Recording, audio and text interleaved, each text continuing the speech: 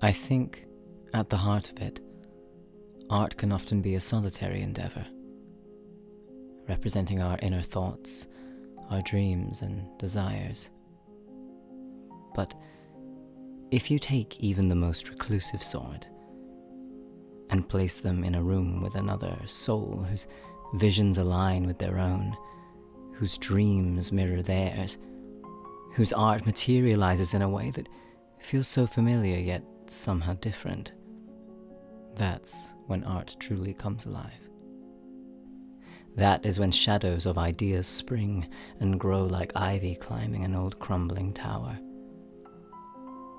where darkened hallways echo with infinite stories,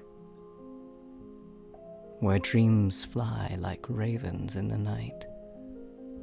That is a feeling. That is a place unlike any other. That is a place where life becomes the art. That place will be waiting for you.